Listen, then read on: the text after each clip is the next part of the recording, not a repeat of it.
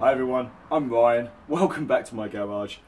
Um, sorry for not putting a video out for last week, uh, but I was feeling rather unwell. And to those of you that reached out on Instagram to uh, just touch base and check with me and uh, check everything was alright, really do appreciate that. Thank you very, very much. Um, also, what a brilliant bunch of subscribers I've got. I have received a package. So this package was uh, sent to me by uh. Um, I just want to um, thank him so much. This is um, going to be the second thing that I've received for this bike. Um, so if you've been watching the channel so far, you would have seen I was sent a package by KI, and um, that was the seat and side panel. Excuse me. Now this, I haven't opened yet. I think I know what I'm largely expecting. Right, let's see what we got here. So we got oh.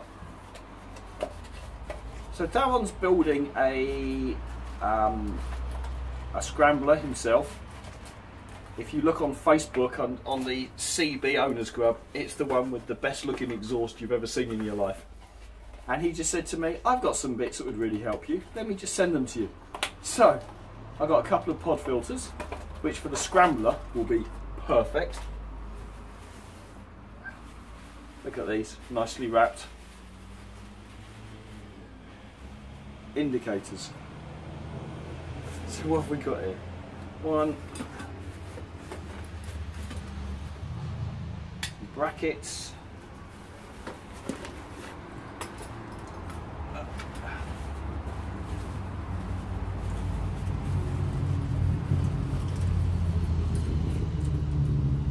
Another indicator.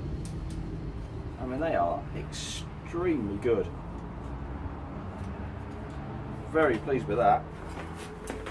What else we got here? Oh, he's also sent me some little tiny front LED indicators. Interesting. and these brackets, which, okay, I'm not immediately sure where these go. I will do some research. but thank you. Thank you very, very much. Really do genuinely appreciate this. And I'm very pleased to say I had the opportunity um, to pay forward the generosity that I've received. So uh, the guy on YouTube, uh, Rusty Wrecks, uh, Pete, he needed some bits for a bike that he's building at the moment. Um, he came over to visit me and I was very, very pleased to be able to give him some items that I had here. Um, not a lot, I mean, it's an old engine case, um, a wheel, some internals for suspension, but just some bits that will really help him. So I really appreciate the generosity I've received, and I've passed that on to try and uh, continue and extend the theme. Um, so that's excellent, excellent. Now, the one thing I have bought myself is a set of carb balancers. Never used these before. Got them at a very good price. Delivered to my door. Four set, less than £40. Um, so I'm going to try and set these up, use these, try and work out where these brackets go. See if we can make a little progress today. Um, I'm not feeling the best. I don't think I'm going to get a huge amount done. And to Nat, I ordered the polishing pads that I needed to do the case, and I accidentally ordered them from a supplier that's based in China.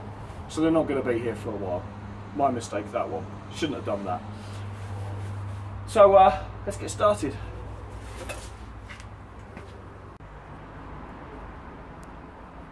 Okay, I'm going to have a little play with the carb sync see what happens.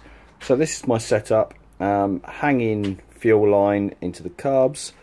I've got two gauges in the middle connected via tubes which just connect into this little adapter that screws in there and there.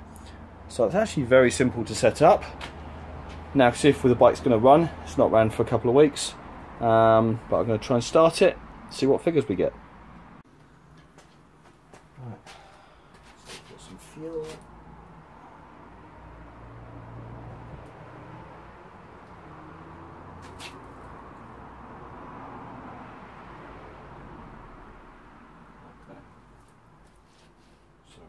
Fuel, ignition, choke.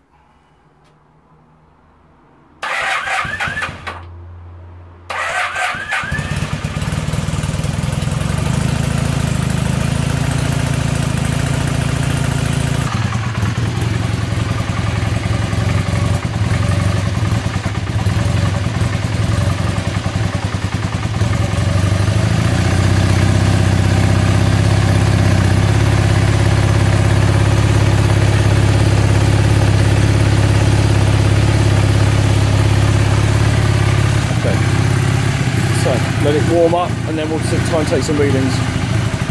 At the moment it's cold.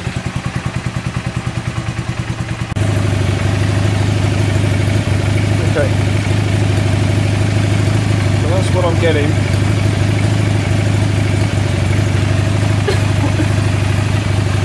Choke is in, choke's all the way in. Tick over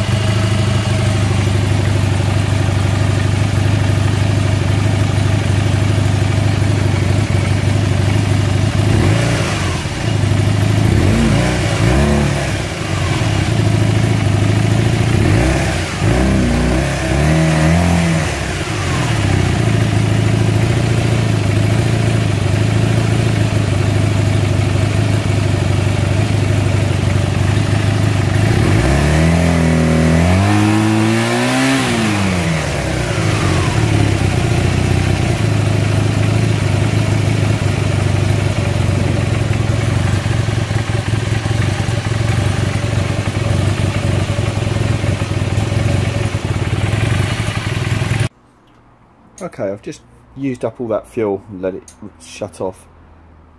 As far as I could determine, with a very amateur eye, um, these were in sync.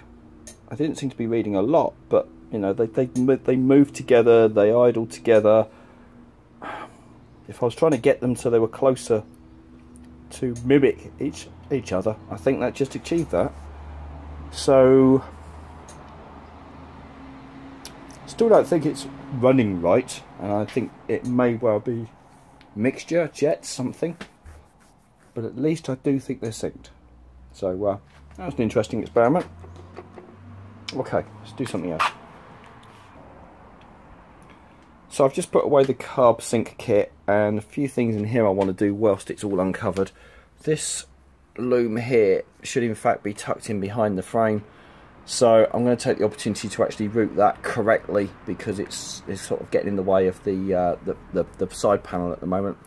And also these two little cables, uh, when Pete came over um, during the week, um, he just advised I just put these neatly behind this so they're just out of the way.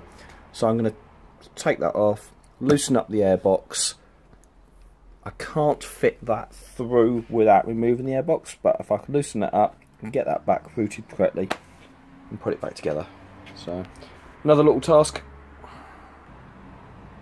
So there we go, that's a much neater result.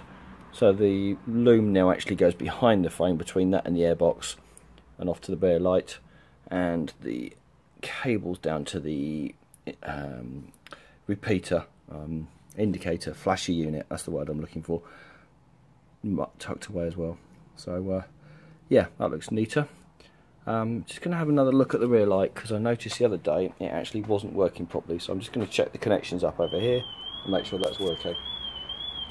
Right, so I've been checking out the cable that runs from these connectors to the lights and I've been experiencing problems so I'm just going to replace these wires. And whilst I'm here the actual light itself um, the connections didn't feel good and I've got another one which is I think more original. None of these wires have been cut um, so I'm going to swap this over. So I'm changing the light and I'm replacing the cables that run between that and that. Um, and hopefully that one I'll get my light working reliably again and not intermittently. So I've been out here for a couple of hours now messing about with this rear light trying to get it to work and I have finally just worked out that the actual connector that goes into the centre there you can push out and then I've managed to clean up the contacts on the end which I think was the bulk of my problems which once you lift them out you can actually get to So now let me just reattach the ends that I've incorrectly taken off, reassemble it, see if that makes a difference because this rear light's been winding me up.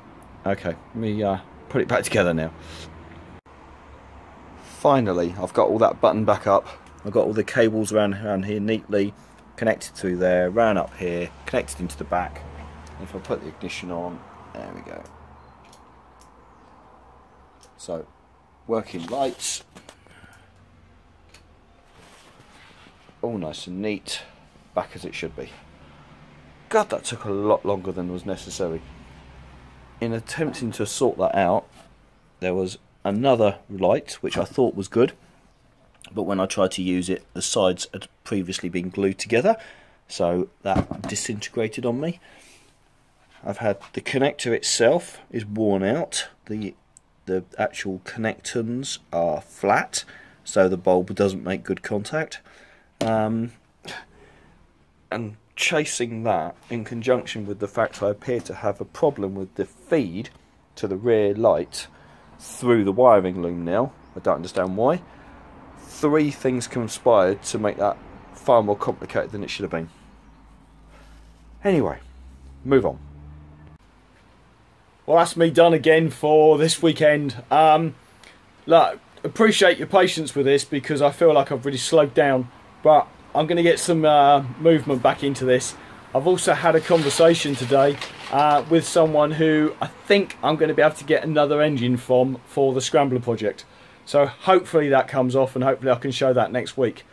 Um, so for now, I'm going to say thank you very much goodbye. Please like, subscribe, any support you can give me and uh, stay safe. See you all soon.